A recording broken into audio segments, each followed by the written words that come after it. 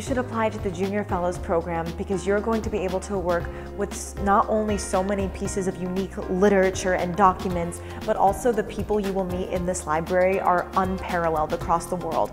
I've interacted with the Ethiopian librarian, the Armenian librarian, the Hebraic librarian, learning about their stories and what career paths they took to get them to where they are today and why they're interested in the things they're passionate about. I would encourage others to apply for the Junior Fellowship program because it really opens up a world like no other. A world beyond books, a world beyond anything that I've ever known before.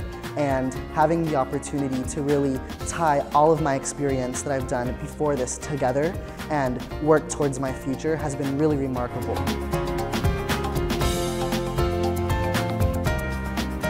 It's not what you expect. But as a open-minded person, you would, you would understand that things that you don't expect can be really the things that lead your life into the direction which you may not have planned for it to be, but the direction that you needed it to be in to fulfill and express yourself in the best of your abilities.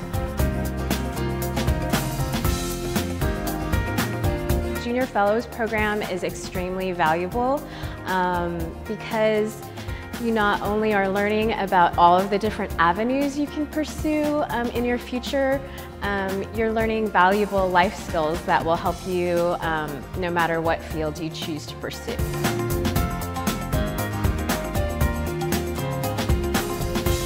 I would encourage other people to apply for the Junior Fellowship Program because throughout the entire process it really feels like you're working on your own project and people are there to support you and it was a really amazing, unique experience.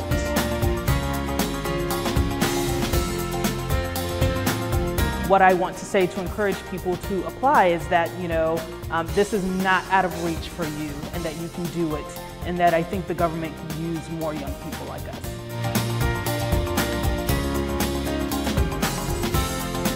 There's a quote that I always think back to of, you can't be what you don't see. At the Library of Congress, I've seen exactly what I can be um, in my future and the people who work here and in what I aspire and work towards every single day.